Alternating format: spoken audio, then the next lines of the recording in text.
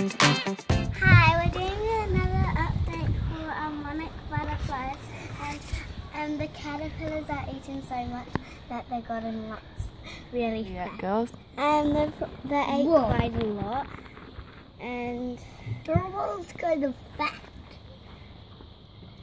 Mm. there's lots of wasps around so um when, when we see one we're going to snack it with a shoot.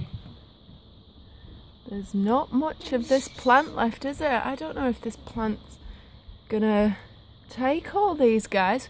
We've got about 12 of these caterpillars on here. We might have to just make sure they're gonna have enough food. Let's go and check the other ones, Brooke. Check this plant. So these ones have eaten quite a lot as well. They're all different sizes on this one. There's some baby ones and there's There's some big ones. Gosh, they're everywhere. Oh, we're gonna have a lot here. Have- That's right, Brookie. Let's go and check inside the potting shed. That's what I was going to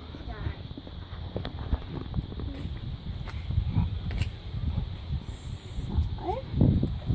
So, we have some baby caterpillars on Much leaves left in here, as though we're gonna have to get some more swan plants. So, I think, Brooke. Yeah.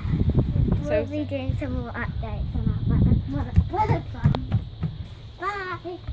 Hi. Um, okay. Hi. Um, it's another update on our um, caterpillars. As you can see, as you can see, this one's um, gone up to the top, and they're starting to make chrysalises, and they tend to group together when they make them. And we've had to cover those ones up over there because the wasps were trying to get them.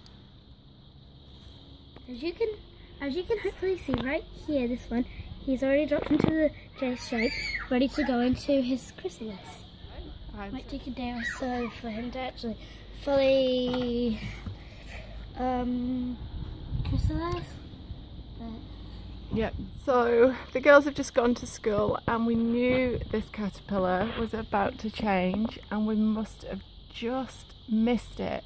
This one's actually still moving around at the top, so it's just changed into the first stage of the chrysalis. So at this stage, it's still quite soft. And then what we'll do is, if we come back, I'll try and get you a closer view. So there it is in there. So it still pretty much looks the shape of the caterpillar and in a couple of hours that shell, that last shedding of the skin goes nice and hard and they go into these lovely little cases. So you can see there's two next to it and there's about three or four more about to start on the journey to the butterfly. So he's going to be another one munching away here.